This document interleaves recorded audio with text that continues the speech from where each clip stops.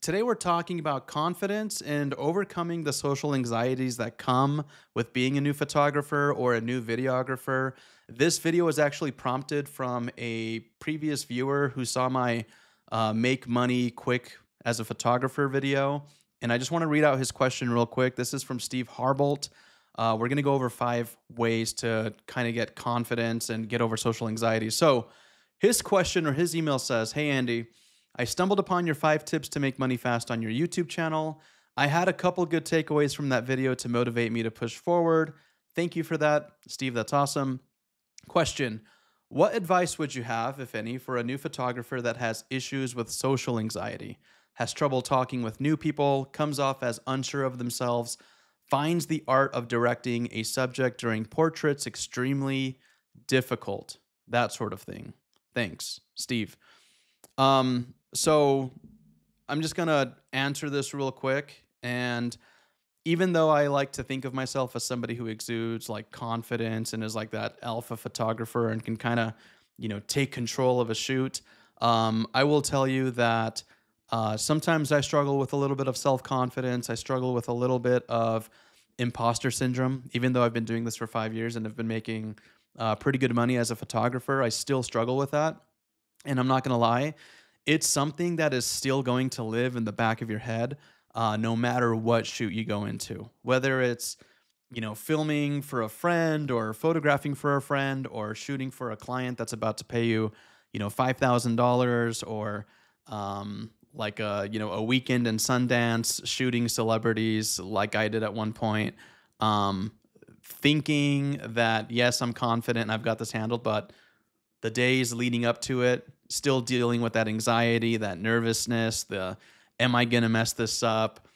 Man, they're gonna see right through me and they're gonna everyone's gonna know that I suck at this, right? There's always gonna be an element to that, no matter uh, what phase of photography that you're in, you're always going to have that self doubt. But I think that, um, you know, these tips that I'm about to give you, these five ways to just kind of convince yourself that you belong and that you got this handled, is uh, really going to help you because um, I like to think that photographers, videographers who are humble and who, who, you know, don't walk around like they're the best thing on earth or God's gift to earth. Uh, the ones that recognize that, hey, I can still make a mistake and I need to take this serious are the ones that thrive. So I'm not going to tell you that that's going to go away forever because that's a lie. All right. So uh, the tip, the first tip that I have here for overcoming like the social anxiety, like um, Steve had just mentioned, is uh, start small. Okay. So starting small, um, you want to go into like these low pressure situations or these low pressure shoots in the very beginning. Um, you don't want to go and like capture like these whale clients or these whale type shoots that are going to pay you a lot of money and put a lot of pressure on you in the beginning. Um, so what I did when I was first starting was, you know, I reached out to friends. I reached out to um, family members. I reached out to friends who might have owned businesses. And um, in the beginning, I offered some free work with the expectation of, hey, I want to do a, a portrait shoot with you. I don't really know what I'm doing with my camera. This may turn out really well, or it might suck. Um, I might take 500 photos and only give you five, or I might take 500 photos and I might not give you any because uh, we don't know if it's going to be good or not. And so when you start small, and you make it low pressure like that and you go with someone who is familiar uh, with you and, and they understand that you're learning, then there's more room for forgiveness. There's more room for uh, making mistakes. There's there's more room for growth in that moment. And uh, one thing that I would always ask for when I was first starting, when I would go shoot with friends, family members, or friends who owned businesses, I is you know I always kind of ask them like, hey, what do you think I could improve on? Right, like is it giving you direction? Is it posing you better? Is it outlining the expectations of what of what I'm going to give you? And uh, somebody always has something constructive to give back to you. Um, most of the time, some people might be nice and they might say, "No, that was perfect. You're great. You're awesome." But really try to get that feedback out of them so that you can actually grow. So start small. Uh, shoot shoot with people that you're comfortable with. That's tip number one. Um, again, friends, family, could even be your dog. Um, get into those low pressure uh, settings uh, that again give you the chance to mess up. You can figure things out, you can grow. And each time you push yourself even just a little, it gets easier. Photography, videography, content marketing, filming, editing, anything that you do with a camera, it is like building a muscle. Um, it is something that you have to practice. Um, it's it's like the same thing as sports, right? Like you have to put in the practice to ultimately get better. You have to definitely practice in many different scenarios, whether that's like indoor uh, shooting, outdoor shooting, lighting, uh, or photography with lighting, photography with no lighting. Um, because when you're in those situations where you're working for a client and you just show up and you don't know what the environment is, you have to be so dialed that your hands just automatically know. Uh, hey, I need to drop down my aperture. I need to shut the, or I need to put down my shutter speed. I got to go to this ISO. I got to shoot at this frame rate for this project. Um, I need this lens, this camera. Um, so start small. That's basically you know getting practice and getting familiar. So that's tip number one. Um, tip number two, I wrote here uh, have a cheat sheet. So um, uh, here I'll just read what I wrote out. So I wrote if you're like me and sometimes you you black out under pressure because that happens sometimes. Um, having a mental or even like a physical cheat sheet uh, will save you. So think of a few simple uh, phrases that you can use during your shoot. Um, some examples that I wrote down is, "Hey, let's try something natural," or st- "Stand however feels comfortable to you," um, and then I'll guide you from there you could even just watch some other YouTube videos on on how to you know pose people properly, um, how to make people comfortable. Uh, shooting women versus men is very different. A female versus a male, like if you're paying a compliment, uh, you even want to be careful if you like when you take a photo of somebody with portrait photography and you don't like the photo, you got to even like save those facial expressions and like put them deep in here. Meaning like don't show the reaction on your face because I've been in those situations where I take a photo and I don't like it, and I go like that. I'm like, oh, I'm like, oh, I don't like that. And sometimes, like the person that you're photographing will internalize that, and they'll take that and they'll think, like, am I ugly? Do I have something on my face? Like, do I have something in my teeth? Um, so they always think it's a, it's about them. Like, even though I'm not happy with the photo, produce a, a little cheat sheet or or just take some notes of uh, phrases, um, I always kind of scour uh, days before I have a shoot. Depending on what it is, I'll go onto YouTube. YouTube is like the best library, best knowledge, best education for photography. I'll watch a, a few different channels and just kind of see how they uh, guide their models or uh, you know what they're saying, what they're doing, how they're interacting. Um, but everybody is different. So that's number two. Mm, that's somewhat of a good tip. It, you know, that's that's just kind of what helps me. Uh, number three, um, letting the moments happen. So, uh, you know, posing can feel intimidating, and I will say that for as anxious and as nervous as you are, uh, the person who's being photographed is probably five times or ten times uh, way more nervous than you are. Okay, like there's pressure when you're faced with a lens and it's just being pointed at you and you're the sole focus. So if you're feeling anxious and you're feeling nervous, just remember the other person on the other side, no matter how uh, confident they might be or how many times they've done it. Uh, there always is a level of nervousness and there's always a level of like self-doubt on their side sometimes what you can do you know just to to let those little moments happen is um just just ask them if they have like a preferred side of their face that they like to be shot. Um, ask them if, you know, hey, is there a pose that you like to do? Or, hey, when someone's taking a photo of you, like, what do you naturally do? Do you put your hands in your pocket? Do you do like a shoulder up? Do you tilt your head? Um, you can always have them do like what's natural to them or what they might want to do in that moment and then kind of guide them from there and then just kind of take a, a, little bit of control as you're like doing that portrait photography with them. Let the little moments happen.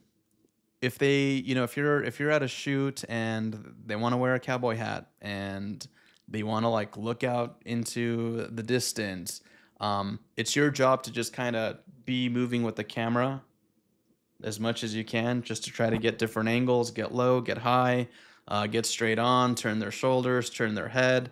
Um, it's kind of up to you to to mold them a little bit but you can always ask them what what feels natural to them in the moment what kind of shots do they want and then you can just direct them from there. Um, number four i wrote trick your brain. So this is tip number four like dealing with uh, your social anxiety and you're not so confident uh, self-talk. Um, you have to basically trick trick your brain. Like you have to uh, ultimately just believe that you are a really, really good photographer, a really, really good videographer, a great director.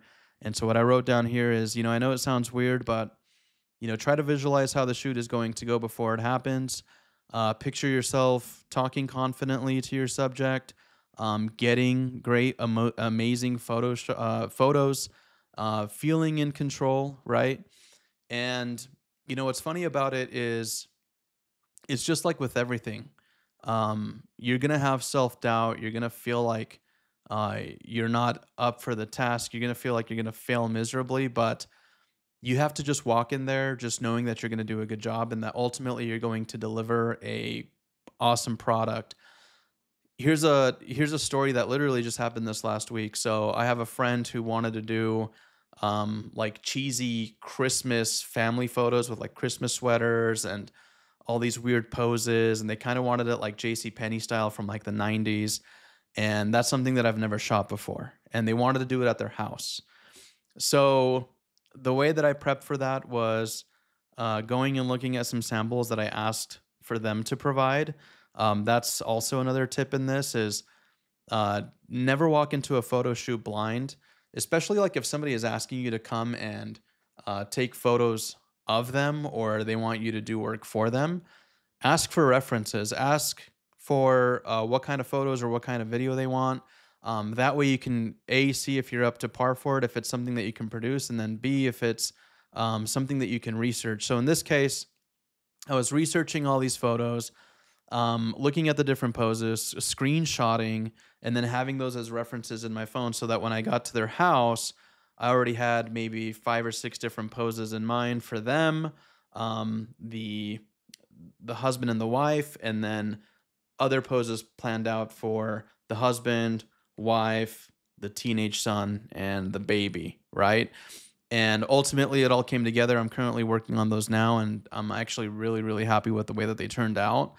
But just know that, like I mentioned before, any situation that you walk into, it's perfectly normal to be nervous. It's perfectly normal to think that you're not going to do a good job. And uh, I think that's what really makes a, a good photographer is knowing that you can do a good job, but knowing that there's still room for error and just always being ready and having enough practice, like in tip number one, having enough practice to just be good in any situation. I know that when I go out to shoot like Major League Soccer matches, I know that I'm ready to go. I I know that I'm ready for any lighting scenario, whether it's midday, um, night, whether the stadium is like half lit and not lit um, due to shadows. Uh, I mean, it's it's just go time. You got to just know that uh, it, it's never going to end. You're you're never going to feel 100% confident that you're going to do a good job, but it's in those moments that you know everything that you prepare for, all the practice, all the work that you've put in when you're put in that situation, uh, you're going to come out with good work. Trick your brain into thinking that you are the best, uh, but remember, you can trick yourself into thinking that you're the best, but without the practice, you're probably going to mess up. So practice, practice, practice, practice. Always get out there and practice. Um, literally, guys, like think about it. This weekend, you probably got nothing planned. Hit up a friend, go shoot some portraits. Hit up a friend uh, who maybe wants I don't know, uh, they, they play in a sports league where they have kids, go shoot that game. Um, if, if you have a friend with a cool car or motorcycle, hit them up, go, go do some portrait shots like that with, you know, the vehicles. Um, there's always room for practice and improvement. And it's just putting in the hours and putting in the work and just making those mistakes that's going to make you better, right? Um, tip number five, um, keep it simple with posing. So, uh, you know, posing, I found out that you know, like less is more.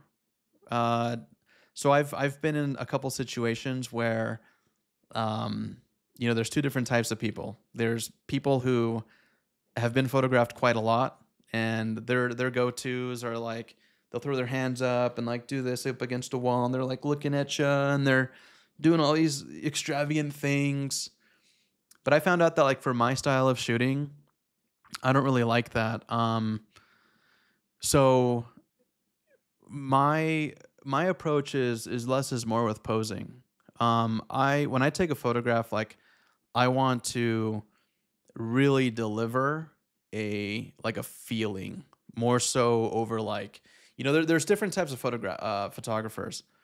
There's people who I think take images of people doing poses to maybe like accentuate like the body and like show off the body. But for me, it's like I don't really care more so about the body. For me, it's like I wanna I wanna get into your soul. Like I want you to hit this amazing look where you're like looking into the lens, you're posing just right.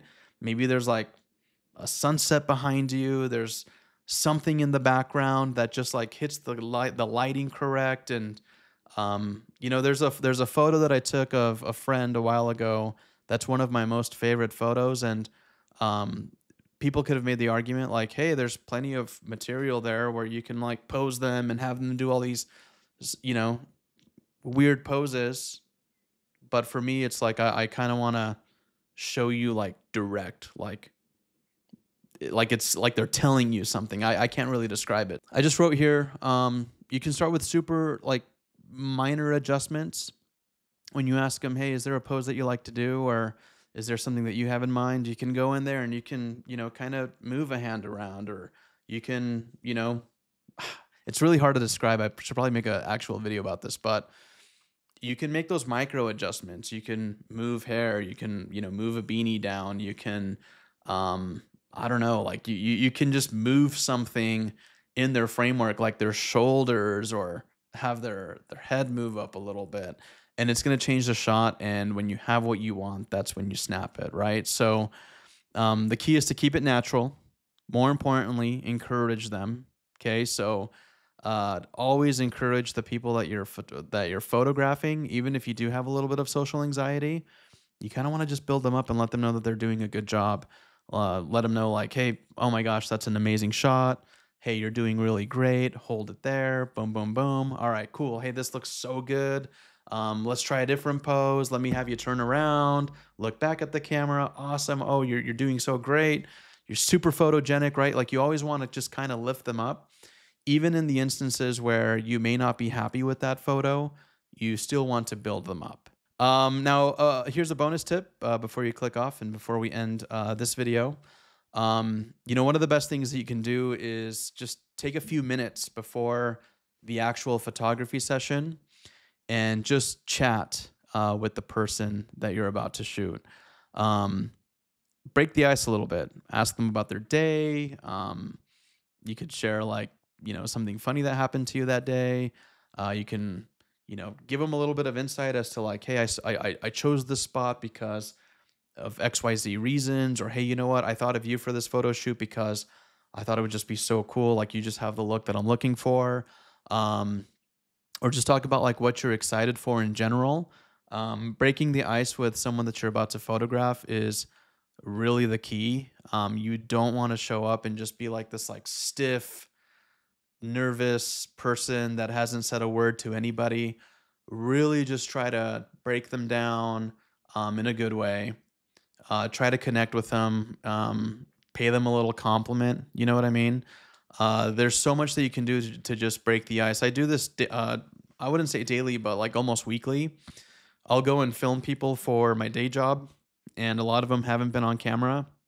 And when I walk into their residence, I'm just kind of pointing out things that I like, or hey, wow, this is a beautiful home. Oh my gosh, oh I love your furniture. Oh, this is wow, your sense of decorating is awesome, right? Or hey, I, I, I really love that jacket that you have on. That's a great choice. Or hey, your car in the driveway, it's super cool. Like it's a Toyota RAV4. Dude, my uncle drives one of those. Like, no, my uncle doesn't, you know. Um, there's always just things that you can do to just kind of break the ice, um, have a little fun with them, And then when it's go time, that's kind of when you get serious and you start really planting the vision. And that's when you take control, right? So, you know, the confidence thing is is actually something that you can absolutely work through. Um, it, it's not something uh, like I'll just tell you this. Um, the more that you put into your head, or like the more that you reaffirm that I'm anxious, I'm nervous, I'm not good at this, uh, no one likes me, uh, I'm awkward, I'm weird, like this is, you know, this is never gonna work. The more that you feed that stuff into your brain, like the more it comes true, right? So you you, you have to be willing to just flip off that switch and you have to just tell yourself, just remind yourself every single day that you're confident. Yes, I'm awesome. I'm a great photographer. I'm really good at what I do, and people freaking love me. And the more that you do that, and the more that you start to kind of break out of your shell and just talk to these people and just know that it's literally just a, another human on the other side of this camera, uh, the more that things are going to go well for you, the more that they're going to refer you to their their friends, their their friends who own businesses, their family members, whatever it might be.